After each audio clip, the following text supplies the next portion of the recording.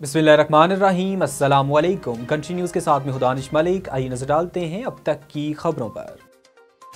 वफाकी वजी दाखिला राना सलाउल्ला ने कहा कि हमारी हुकूमत गिराने और पी टी आई को लाने में जनरल बाजवा का ही हाथ था। पी टी आई वाले ये बात क्यों नहीं करते? हर बुराई उनके जिम्मे लगाते हैं। निजी टी वी को दिए गए एक इंटरव्यू में राना सलाउल्ला ने कहा कि सरगोदा जलसे में मुझे तस्वीरों का नहीं पता और ये कोई डील का हिस्सा नहीं। जनरल बाजवा की किसी से क्या डील होनी है? जिनसे डील थी, वो भी उनके खिलाफ सुबह शाम बातें करते हैं। रावलपिंडी में गिरफ्तारी देने वाले पाकिस्तान तहरीक इंसाफ के रहनुमाओं और कारकुनों में से सैंतालीस अफराद को अडयाला जेल मुंतकिल कर दिया गया। रिपोर्ट्स के मुताबिक जुल्फी बुखारी, फ्याजुल हसन चौहान, एजाज खान और सदाकत अब्बासी को भी अडयाला जेल मुंतकिल कर दिया गया। सबक वजी अजम और मुस्लिम लीग नून के रहनमा शाहिद हकान अब्बासी ने कहा कि अदलिया के खिलाफ बात नहीं करनी चाहिए और मैं कौमी असम्बली की तारीख बढ़ाने का हामी नहीं हूँ। सबक वजी अजम शाहिद हकान अब्बासी ने प्रोग्राम में गुफ्तु करते हुए कहा कि इंसाफ सिर्फ़ होना नहीं चाहिए, बल्कि होता नज़र आना चाहिए। और इंसाफ का तकाजा है कि बेंच पर उंगलियाँ नहीं उठनी चाहिए थी। रालपिंडी में लोगों को हवाई फायरिंग से रोकने के लिए पुलिस की जानब से ड्रोन और दूरबीन के इस्तेमाल समेत दीगर इकदाम उस वक्त बेअसर नज़र आए, जब गुजशत रोज़ शहरीों ने बसंत मनाई, जिसके दौरान मुख्तलिफ़ हादसा में तीन अफराद अपनी जान से हाथ धो बैठे और मतद ज़ख्मी हो गए। वफाकी तहकीकती इदारे ने सबक वजी अजम और चेयरमैन पाकिस्तान तहरीक इंसाफ इमरान खान का तिब्बी मुआयना करवाने के लिए बैंकिंग कोर्ट में दरख्वास्त दायर कर दी।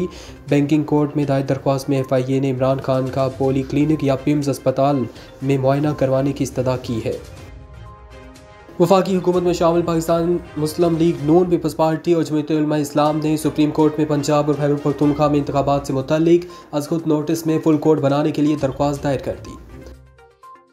वजारत खजाना ने तनख्वाहों और पेंशन की अदायगी रोकने से मुतल खबरों की तरदीद कर दी। वजारत खजाना की जानब से जारी बयान में कहा गया है कि वजारत ने ऑडिटर जनरल को तनख्वाहों और पेंशन की अदायगी रोकने से मुतल कोई हुक्म जारी नहीं किया।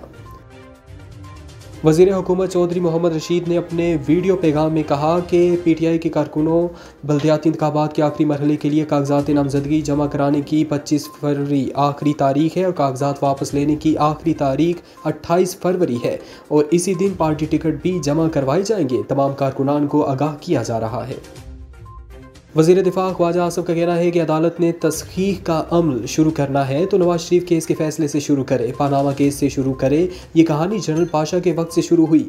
ख्वाजा आसफ ने प्रोग्राम में बातचीत करते हुए कहा कि नए आर्मी चीफ की तकर्री के मौके पर इमरान खान ने जो कोशिश की, उससे मतलब भी राज उनके पास मौजूद है। इस्लामाबाद में जर तमीर बारको बाईपास मनसूबे के पिलर की शटरिंग गिर गई, जिसमें दो मजदूर जहाँ भाग हो गए। इमदादी टीमें रेस्क्यू ऑपरेशन में मसरूफ रहीं। इस्लामाबाद पुलिस के मुताबिक अभी तक तीन मजदूरों को जख्मी हालत में अस्पताल मुंतकिल किया गया। H P L P S L Pakistan Super League season आठ में गुजशत रोज़ इस्लामाबाद यूनाइटेड ने कोयटा ग्लेडिएटर के खिलाफ ज़बरदस्त खेल का मुजाहरा किया और जीत अपने नाम की। इस्लामाबाद की जीत में अहम किरदार निभाने वाले आज़म खान गुजशत रोज़ से ही सोशल मीडिया पर ट्रेंड कर रहे हैं। अब तक लिए इतना ही। मजीद बाखबर रहने के लिए देखते रहें कंटिन्यूज़